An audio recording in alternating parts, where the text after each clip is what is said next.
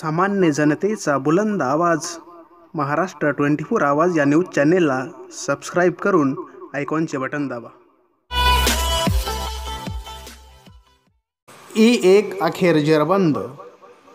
ब्रह्मपुरी येथून मेळघाट जंगलात आलेल्या ही एक वाघिणीने मागील दोन महिन्यापासून धुमाकूळ घातला होता.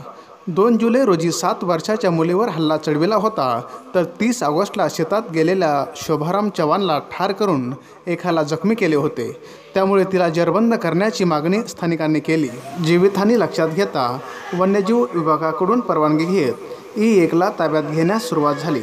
दरम्यान रविवारी सकाळी सहा वाजता अमरावतीतील धारणी तालुक्यातील गोलाईजवळच्या जंगलात ई एक वाघिणीला जरबंद करण्यात वन विभागाला यश आलं आहे. मंगळवारी ई एक वाघिणीला गोरेवाडा प्राणीसंग्रहालय येथे पाठविण्यात येणार असल्याची माहिती वन विभागाने दिली आहे.